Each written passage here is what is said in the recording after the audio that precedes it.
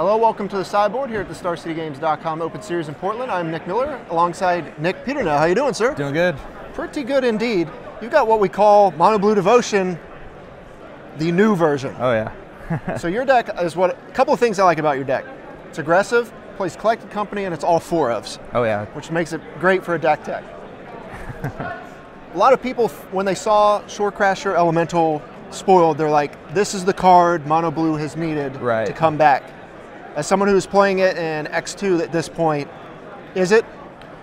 I think does that it do it does everything they want. It does a lot to um, keep Thassa on. Obviously, the three pips is where you want to be, but it also is just a great threat by itself. A lot of people aren't very comfortable playing against the type of threat the Shore Crash Elemental is, being able to flicker itself, pumping it. It makes combat really awkward. It does a lot of things. It's not just the blue pip. It's just it's a respectable creature in its own right, Okay. and that's the big thing, you know. Yeah, we've seen it have the elemental bonus as well. So when you have Right. master waves in play, you get to have it even bigger. Yep, four four. All right, we're going to go down your curve real quick. You've got Hypnotic Siren as your one drop, but also being a control magic late in the game, of Right. course. And now your two drop suite. You got Frostwalker, Kiora's Follower, and the old Stratus Dancer. Oh, yeah. Which, how many times have you got to do the morph?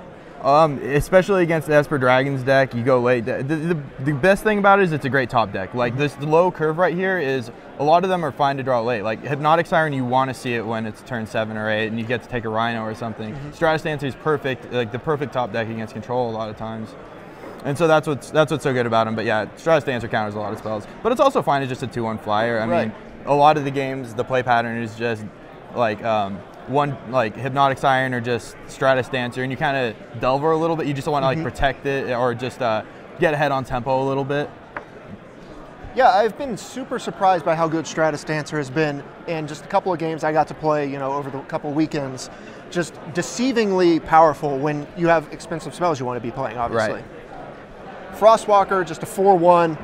It was originally uh, omen speaker um, and i thought that that, did, that card specifically does a lot more for the deck than frostwalker does but this particular weekend the fact that frostwalker can swing into an ojutai is where you want to be Excellent, and yeah. against that deck that's just mono tap lands you know you, you, you want to just get aggressive and hit them for four i think i've done like 12 in one game with a frostwalker that just went uncontested so it's great to have those kind of starts too because like as you can see the, the, the power ratio on the lower end of the curve isn't that great except for Right. frostwalker and so it's good to have those kind of starts where you just you just get ahead and stay ahead Yeah. In games where you can land a turn 2 Frostwalker against a guy who's just going to play a tap land. Right. It's a lot of damage. And, and what you do is you can play this game where Frostwalker's hitting for four, hitting for four, and eventually they have to tap out to kill it, right, on your turn. And that's when you can start resolving your Thassas, that's when you can start resolving Shorecrasher Elemental with mana up, and uh, it, it, that's what it does for the deck. Yeah. is what Speaking like. of Thassa, there's a card we haven't seen since the last standard format, basically.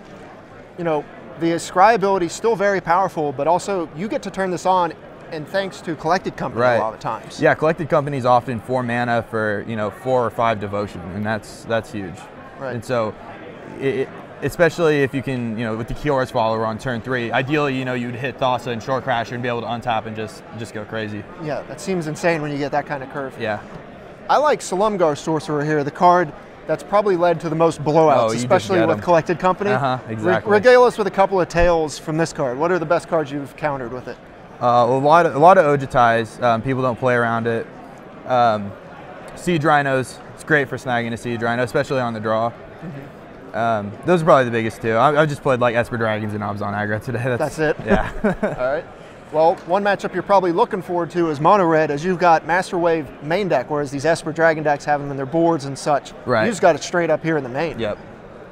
Still a great threat. Um, Shorecrasher Elemental gets the buff uh, for being an elemental from Master Wave, so that's an interaction. Frostwalker's an elemental as well, so sometimes you just have a two mana five two, and that's pretty good. Not a bad rate. Exactly. And you know, with people were trying to do mono blue before, but the threats weren't very good. But the fact that this is a good threat in its own right opens up master waves a little bit. You know, you're not just focusing on being able to master waves to get your damage in. Like I was playing against Abzan aggro, and it's normally a pretty heavy removal deck, but I was able to like, stick a master waves because you know they, they still have to deal with these lower curve threats. Yeah, they've now. spent all the resources killing your previous things. So obviously it's just going to make Master better because it's going to live longer. Yeah, especially with Shorecrasher Elemental because it's such a resilient threat. All right, take us through the sideboard here.